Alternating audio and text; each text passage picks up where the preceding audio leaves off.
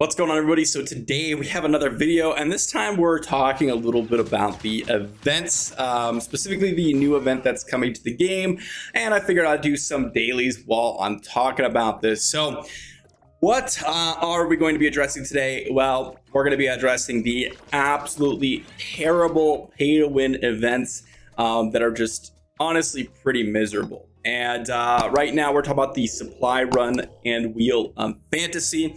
It says it's going to be on September 26th to October 3rd. So if we jump into game here and just check out uh, the rewards here, we have the new supply run, which by the way, I want to say that this is a really cool part of the event. So I do want to appreciate that. We also have the gacha system.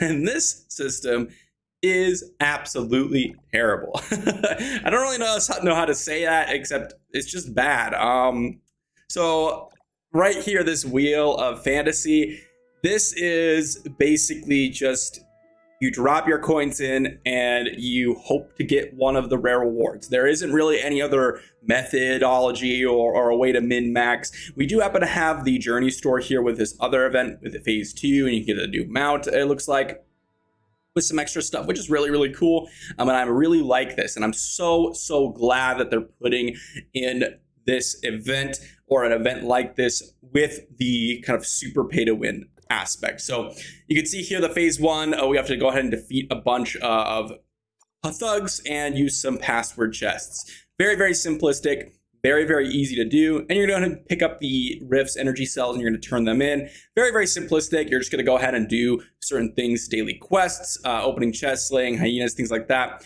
um, or world bosses in phase two, or event instances in phase three. We can also trade warp cells for the event kind of tokens. And then uh, we're going to go ahead and donate warp energy cells, etc., etc. And we can go ahead and pick up all the rewards in the store, presumably. Now, this is a really, really interesting event in terms of it's just free rewards.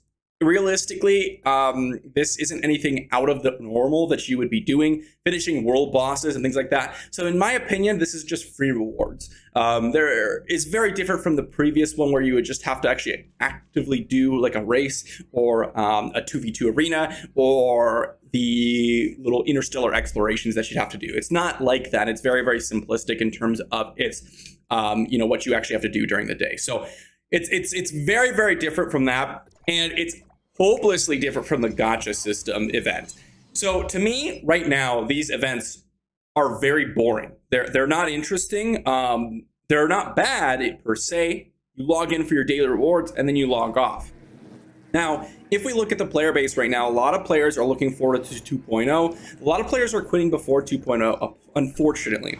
And the main reason you keep people in these mobile games is through these events. Now, I do want to mention that I'm not bashing the game, um, and I'm truly trying to go ahead and get the best for the game, which is why I make videos on the things that I think are, um, you know, problems for the game. That's what we all do. We're trying to make sure the game is more successful, because I don't know if you all realize, the more we make the game successful, the more money, I'm not monetized on this channel, but the more money all the YouTube content creators make. So the only purpose that we're trying to do with these videos are one, to get views on our videos, and then two, get more views on the next videos, which how would do we do that? Get more people to play the game. So regardless of what you think we're trying to do, the whole point of us trying to make videos, generally speaking, is to make the game better. And I think that the best way to do that in mobile games generally is to go ahead and get as many players playing per day and then coming back for the next day. And the best way to do that is through events. Now, I'm going to compare this to something like Raid Shadow Legends here, which obviously these are two separate games.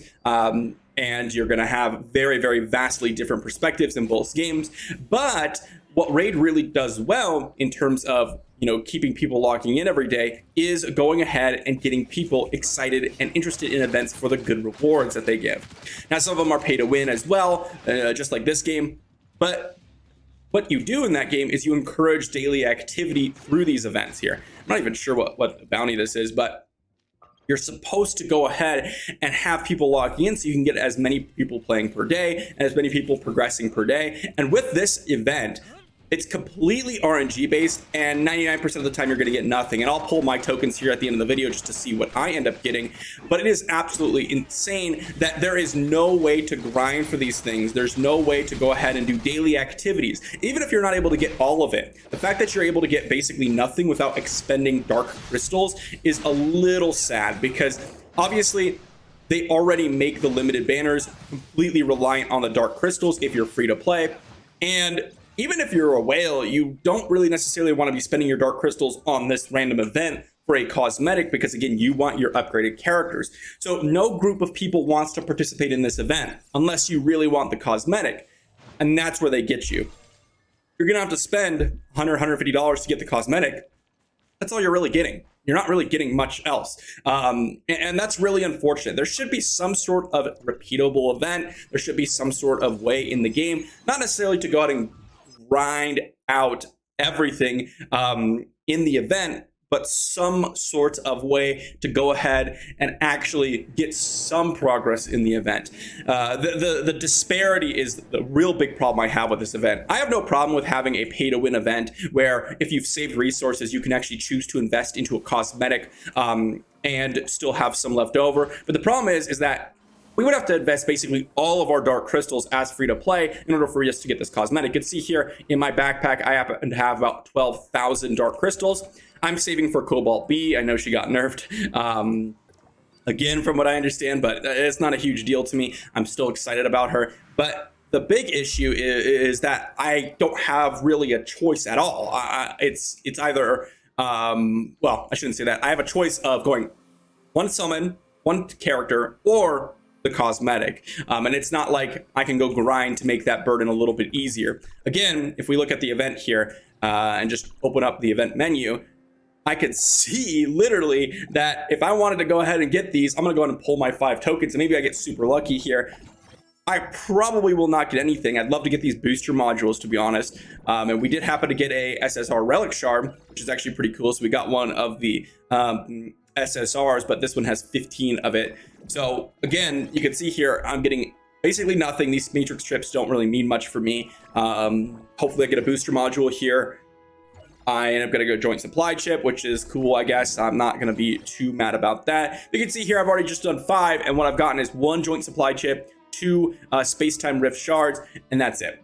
Uh, and if I wanted to get the fantasy or the accessory or maybe the portrait or the frame, I would have to spend literally hundreds of dollars, which is just absolutely insane. Or I would have to use my dark crystal. So the fact that it's such a disparity, like I literally can pull five and there's, I don't know what, 50, 60 of the options there is just a little too much for me and my taste. So I think the best way to do handle this is, is that when you have pay to win events like this, like exceptionally pay to win events, and then your events outside of this aren't exciting, then you have a problem. And that's where I think that this game is going right now. Um, I think that they did a really good job, honestly, on the last event with the uh, Star Grip, the Stardust, and you had to log in to do daily activities, and the rewards were decent, at least for the first beginning part of the shop. That's actually, it was actually a really solid amount of rewards. But then with these two last events or with the gacha earlier on and then these two events you have a boring event coupled with a pay to win event that's a bad combo. Again, I have no problem with getting rewards. I'm the, with the reward system. That is great to me. But the problem is, is that it's not an engaging event. And when you have a situation where people are bored out of your daily content and you really, really do want to go ahead and um, and get people logged in in preparation for the upcoming new event, you really, really do want to make sure that you're making people log in. So hopefully we we do get some sort of cool event upcoming. Let me know what you think guys think in the comment section down below. Uh, maybe again you all think differently. I know there's gonna be some people that uh, are gonna say uh, wow like it's a free game they give you your good rewards and you're complaining regardless. I think that's a kind of a poor mindset to have because again the whole point is that we don't owe anything to these developers. They don't owe anything to us technically. However we're playing their game, we're promoting it. And so if they want to make a good game and hold on to the player base, which they should want to do, and you want to have an overall kind of more uh, expansive player base, you're going to have to make these improvements. Regardless of what you think what should happen, this is how to get more players playing your game. So it doesn't matter if you think we're entitled to something, it doesn't matter if you think we're not. It all that matters is you want more people to play your game. And therefore this is how you're going to do it, right? So hopefully that makes sense. Um, at least that's my opinion on how you're going to do it. Let me know what you think in the comment section down below. Are you tired of these types of events? I know I'm not excited. I'm free to play here, so if anyone um, is going to get anything, it's not going to be me, right? Because I'm not going to go ahead and invest my dark crystals into um, an event that's just going to give me a cosmetic and get absolutely nothing from that. So let me know what you think in the comment section down below. If you did enjoy, be sure to like the video, sub to the channel, and I'll see you for the next one, guys. Thank you.